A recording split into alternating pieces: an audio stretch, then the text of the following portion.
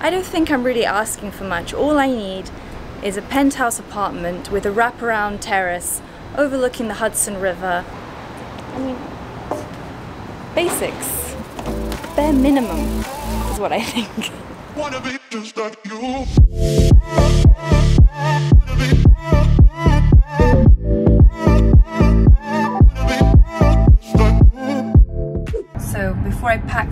Which I'm going to do tomorrow, I need to quickly get a new suitcase.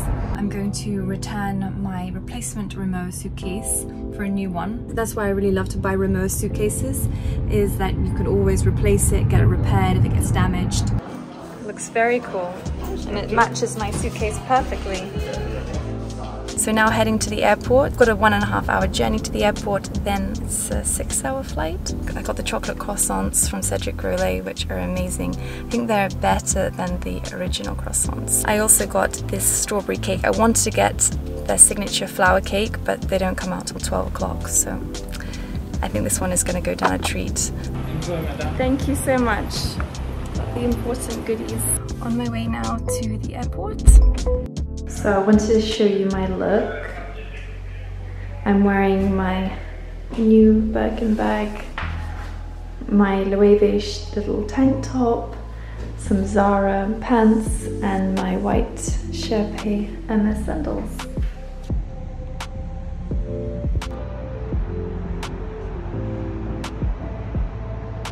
Good morning! Here in New York, first morning. Need to put some makeup on realized it's uh, revealing. When I wake up in the morning, first thing I love to do is have some coffee. Fouquet's, where I'm staying. I have to say this hotel is amazing. I love it. Love, love, love it. When I was leaving the hotel for dinner last night, it was really happening. And obviously it's fashion week here, so there's like photo shoots going over in one corner, all these glamorous girls, tall, skinny, walking around. Dinner was amazing last night. First I went with friends to this bar called Shinji and we had these amazing cocktails. And then we went to Monkey Bar. I booked this restaurant a couple days ago because everyone said it like the place. I woke up this morning at 6 a.m. and I went to bed around 12. But what I do is as soon as I arrive, I get on the program. That helps with my sleep. Just gonna put a tiny bit of powder on. I don't really like to wear powder to the gym, but otherwise I'm looking very oily. Now to get into my gym kit.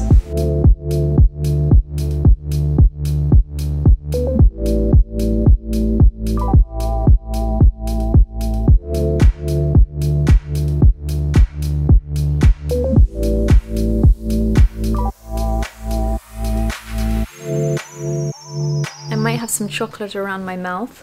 I was eating the chocolate shoe that they gave me here. Also doing a little bit of work on my computer right now. I am transferring files and I wanted to get the outside little balcony ready. We've got this beautiful terrace and I want to sit under the parasol with my laptop and do some emails. So already had a very active morning, started off with a workout. They have a Dogpound gym downstairs. Dogpound originated in New York. It was where all the models used to do their workouts. And right now I'm gonna go get ready, spruce up the makeup. So let's do that. So in my last video, some of you guys asked me to talk about my favorite products. So that's what I want to do. Okay, I'm using my Charlotte Tilbury Flawless Filter. I'm doing like a little bit here. This gives just the most beautiful glow to the skin. I really cannot go without this step. Say, I like to use my tinted moisturizer for the day. I don't need a really thick, heavy coverage. It also doesn't make me feel very good when I have like heavy foundation on. I can do foundation in the evening, but during the day I just want something light. This one from NARS is really beautiful, I think. Gives a little bit of color, minimal coverage. Then I use my Charlotte Tilbury concealer. Mm-hmm. So now I'm going to use my Charlotte Tilbury powder just to set the base. I have this amazing brush by Hourglass Double Wand, I call it, the double wand. Try to be very light with powder, otherwise it goes into the creases and it shows your lines. We don't want that. Then on the other side, my new favorite palette from Charlotte Tilbury, this gorgeous bronzer. I have to say, I am so happy that I'm not doing Fashion Week here. So much work goes into that and so much stress as well. I'm just so relieved not to be involved. And this year, I have really actively decided that I don't want, it's not just fashion weeks, but in general, I don't want to say yes to anything that doesn't give me joy, doesn't serve me. Um, a friend of mine invited me to a show for London Fashion Week. And it was really sweet of her to invite me, but I just don't want to go. And my friend was like, but Emma, you still love going to this. This is like, why not? And I'm, I may in the future change my mind, but at this present stage in my life, it just really doesn't benefit me and I don't enjoy it. I, I think uh, I'm over it. I'm really over it. My contour palette Charlotte Tilbury. Often you're waiting around for a really long time before the show starts, or either that or you're stressed running around trying to get there in time for the show so you're not late. Here's my little highlighter wand. Um, so yeah, I just, in, you know, nowadays just being very selective about what I put my time into. But yeah, getting used to saying no to things. Doesn't mean I'm not going to produce fire content and great outfits. By the way, I'm using my Pillow Talk lip liner. What I noticed about New Yorkers is they're all very, very busy. And, you know, even to get a dinner with someone is like oh, it's a bit of a commitment. That sounds strange, like I have my own dinner commitments. I'm not lonely and looking for someone, but I meant that I noticed in dating culture, let's put it like that, they like have four dates in one evening. One they're meeting for coffee, one is for a drink, then it's another cocktail, then it's a dinner, then it's an after drinks, after dinner. Like you can, everyone's. If a guy is inviting me out for a drink, just a drink, that's like that that was a move I used to play because I would think like oh I don't know if I'm gonna get on with this guy. But if I'm already doing that then it's already a no let's be honest I think it's also like for me a big turn off when someone is working all the time and mm, you have like business dinners and they can see you only after or before someone's that busy that they can only meet you for drinks it's safe to say that they're going to continue being very busy. That was my Pillow Talk mascara, which I love. Here, this is my Chanel brow pencil. I really love my eyebrows now. I've had them tinted.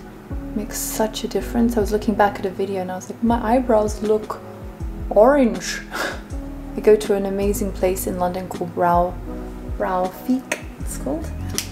And they just do an amazing job the lip gloss from Charlotte Tilbury. Mm -hmm. And I want to line my lid and then smoke it out a little bit.